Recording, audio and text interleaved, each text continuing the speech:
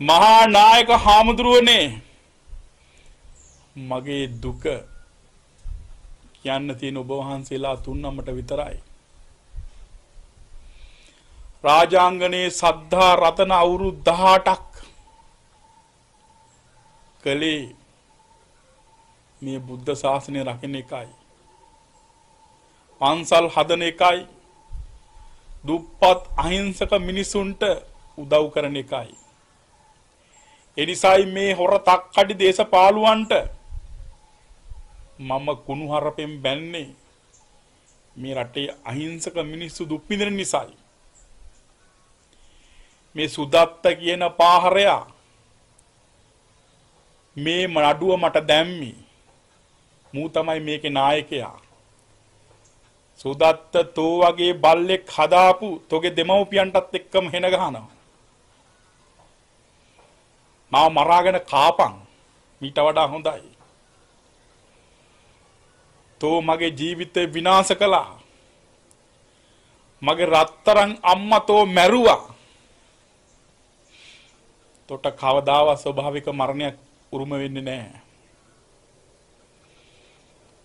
ලංකාවේ ඉන්න ලෝකේ ඉන්න මිනිසුනේ මූ කියන බොරු අහන්න එපා. බලාපල්ලා මූ තනිකර ඩීල් කාරෙක්. මුට ඕනේ සල්ලි විතරයි. මූ රාජපක්ෂලට බැන බැන මුගේ බුදුහාමුදුරුව කොටුවේ පොඩ්ඩා මුන්ගේ මුගේ ඉරාත්ලගේ සමන්ත බත්ලගේ වෙනසක් නෑ. මූත් මේ රටේ අහිංසක මිනිස්සු රවට්ටන තවත් YouTube මුදලාලි කෙනෙක් මංකොල්ලකාරයෙක් විතරයි මුට රැවටෙන්න එපා. මු මගේ රත්තරන් අම්මා මැරුවා. මට මේ ලෝකේ තියෙන එකම සම්පත මූ නැති කරා. මිනිසු බලයයි කොහොමද ඒක උනේ කියලා.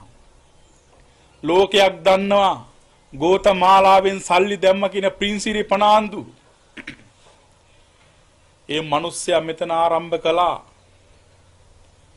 මරණාධාර සමිතියක් දහම් පාසලක් පෙර පාසලක් මරණාධාර සමිති මිනිසෙක් මැරුණු රුපියල් 70000ක් දහම් පාසල් දරුවන්ට මාසෙකට කන්න 60000ක් පෙර පාසල් දෙමව්පියන්ට පෙර පාසල් ගුරුවරුන්ට 50000ක්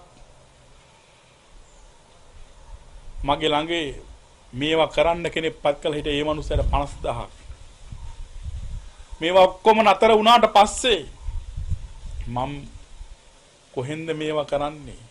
මිනිස්සු පන්සලට එනවා. දරුවෝ ටික පන්සලට එනවා. මේවා නතර වුණාට පස්සේ මං අසරණ වෙලා මගේ කාමරයට වෙලා කොට්ටේ බදාගෙන දිවාරාය ඇඬුවා දිවාරාය කල්පනා කළා. මගේ රත්තරන් අම්මා මට හැමදාම කෝල් ගන්නවා. පුතාගේ ෆෝන් එක වහලා. පින්සිරි ප්‍රනාන්දු දහම් පාසල් දරුවන්ට චාරිකාවක් යන්න. දහම් පාසල් දරුවන්ට ඇඳුම් දෙන්න බාරගත්තා ඒකත් නතර කරා. මං ඒ වෙනකොට පොරොන්දු දීලා ළමයි විනෝද චාරිකාව අරන් යන සූදානම් කරා. ඒක මගේ අම්මගෙන් ඉල්ලලා මම දුන්නා. රුපියල් ලක්ෂ දෙකක්. අම්මා දන්නවා දැන් මම ගොඩක් දුකෙන් ඉන්නේ කියලා. අම්මට ප්‍රෙෂර් තිබුණා. අම්මා මගේ දුක දරා ගන්න බැරුව පපුවේ අමාරු හැදිලා මැරුණා. මගේ අම්මගේ මරණයට වග කියන්න ඕන. මේ සුදත්ත කියන පාහරයා. පින්සිරි පනාන්දු හොඳ මිනිස්සෙක්. ඒ මිනිහා මූට බය හැංගුණා. මේ සුදත්ත කියන්නේ හොඳ එකෙක්ද? මෝ ඉදේ ඉඳන් රෑ වෙනකන් කුණුහරප කියන්නේ. හෙලිවෙන් යනවා. රණවිරුවන්ට බනිනවා. වෙලාවකට හිරුනිකා ළඟ වෙලාවකට තව එකෙක් ළඟ මුට සල්ලි විතරයි. මු YouTube මුදලාලි කෙනෙක්. මු මගේ ලස්සන ජීවිතය විනාශ කළා.